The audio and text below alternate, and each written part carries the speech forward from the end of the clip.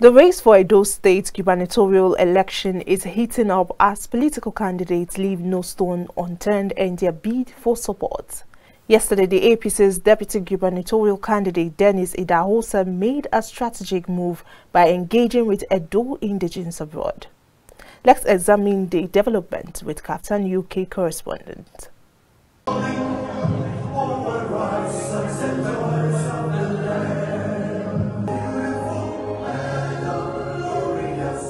The All Progressive Congress APC Edo State chapter has expanded its campaign efforts by reaching out to Edo State indigents worldwide. Deputy gubernatorial candidate Dennis Idahosa recently visited the Edo Diaspora Organization in London to formally declare his candidacy for the upcoming elections in Edo State, Nigeria. In preparation for the September elections, Dennis Idahosa, a former honorable member of the Federal House of Representatives representing Ovia Southwest, Ovia Northeast constituency, engaged with the Edo Diaspora Organization in London. With previous roles as chairman of the House Committee on Legislative Compliance and commissioner for the Edo State Ministry of Investment and Public-Private Partnerships from 2014 to 2015, it also reiterated his dedication to serving the people of Edo State and providing quality leadership. When you have to invest back home, there's going to an intermediary between the state government and the investors, which is our people here. For instance, you want to buy a property in Nigeria. Most of us have been scammed by our family members. Let's tell ourselves the truth. Instead of going through that route, you can partner with the state government to provide basic amenities in certain areas. Then the Edo Diaspora Commission will be able to allocate properties for different people that is willing to invest back home. Addressing concerns about property demolition by the current state leadership, Idahosa assured the community of his commitment to addressing such issues if elected. We also inherit the assets and the liability. We are going to review that because there's one community they call Okoroma I think what they did today is not fair. It's not fair.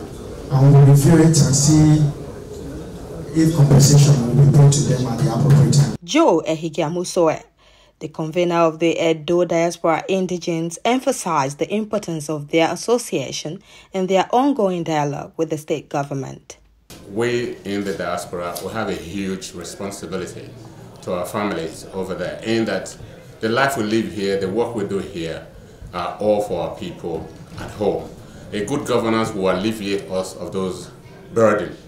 Okay, and that is why we believe that we need to institute the right governance in our state. Uh, our plan is uh, number one to put the people first and for the uh, progressive interest of the people of Edo State.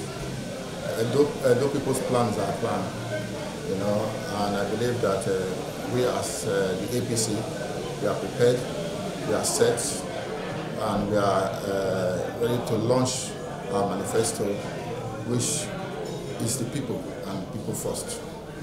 Other participants, including Osas Agbonifo, Vivian Elabo, and Efe Omorugewa from the Edo Diaspora Association, echoed the sentiment of engagement and collaboration in furthering the interest of Edo State.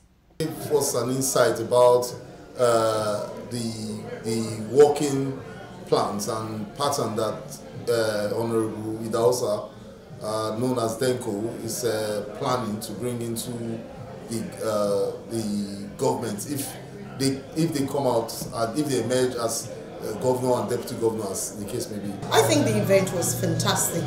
I think it gave um, the Edo Lights in London, in the United Kingdom, an opportunity to um, interact with the aspirants of the APC um, deputy governorship candidates. Uh, speaking to him, trying to scrutinize him, and asking questions, he was able to you know, answer adequately and that gives me so much confidence that the young people can come around and even do better. I hope that politicians with their rhetoric is not uh, in this situation. We pray and hope that the best candidate become governor and deputy governor. So my people, we are here to solicit for your support. Victoria Oketa, Kaftan TV, United Kingdom.